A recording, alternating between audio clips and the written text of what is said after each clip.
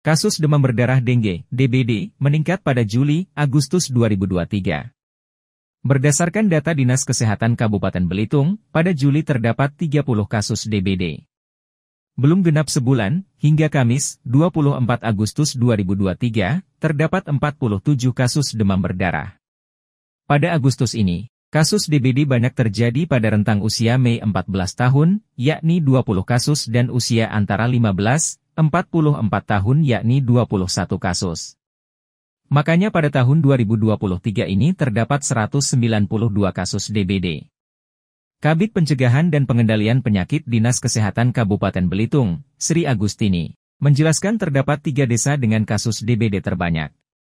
Desa tersebut yakni Desa Aika Rayak dengan jumlah 20 kasus, disusul Desa Aika Merbau dan Kelurahan Parit dengan jumlah masing-masing 19 kasus.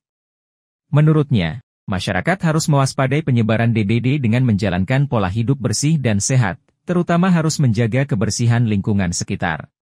Sebagai langkah pencegahan, Dinkes Belitung juga terus mengampanyekan PSN bersama-sama mulai dari instansi, sekolah, rumah dan lingkungannya, serta melakukan edukasi DBD kepada individu maupun kelompok. Setiap laporan kasus DBD pun dianalisis untuk langkah lebih lanjutan seperti penyelidikan epidemiologi dan fogging.